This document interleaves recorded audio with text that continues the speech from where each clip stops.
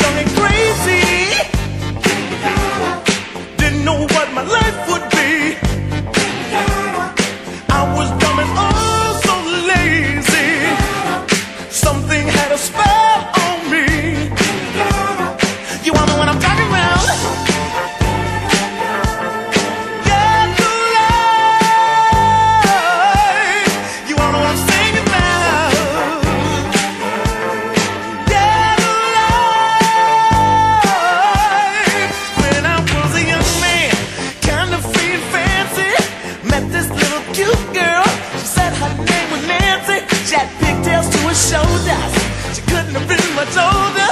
She taught me.